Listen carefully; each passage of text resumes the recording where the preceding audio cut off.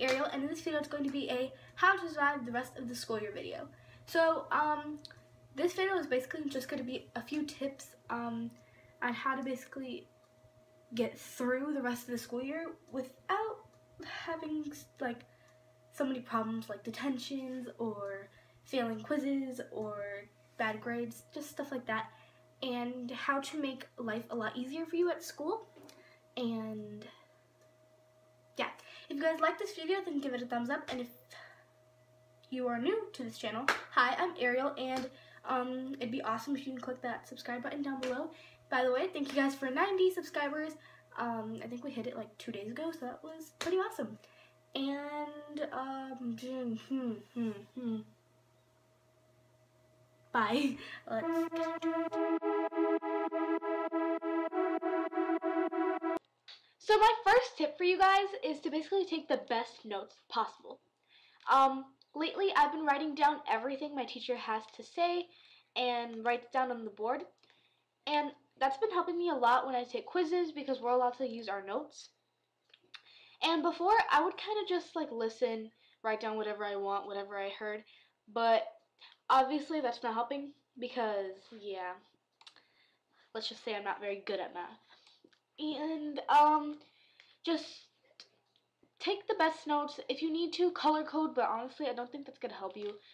The, the main thing that's going to help you is writing down the information that you need to know, not spending five minutes highlighting the most important information.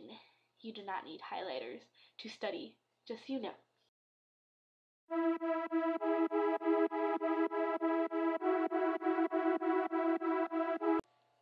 Tip that I have for you, which you should probably already know and do all the time, is um, to write down your homework. And I understand, like, sometimes I forget to write down my homework. Like, a lot of the time I forget to. So, hopefully your teacher has like a website or a school website that you can go to to like copy your homework because my school has that which is really useful because I am the most forgetful person ever. Like if there's something that I really want, I am not going to forget that, I promise.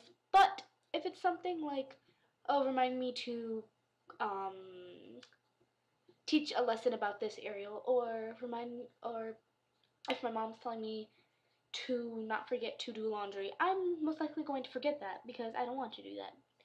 But with homework, it's kind of like I need to do that, but I don't want to. So I you can forget most of the time. So hopefully your teacher has a website that you can go to to get your homework from.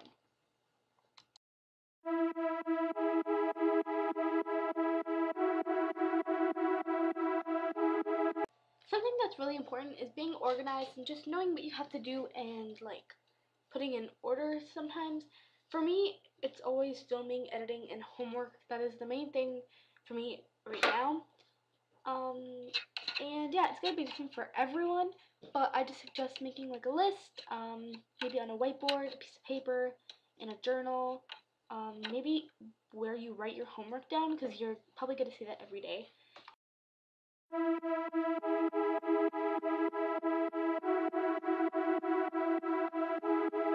So something that I recommend you guys doing is asking questions to your teacher.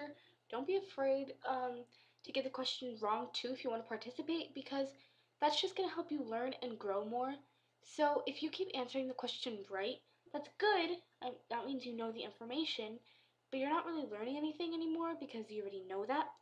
But if you answer a question that you don't understand, most likely your teacher will tell you the that what you answered is wrong, and then she's gonna show you how to get the.